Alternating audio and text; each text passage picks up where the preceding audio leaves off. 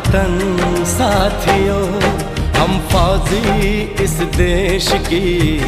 धड़कन हैं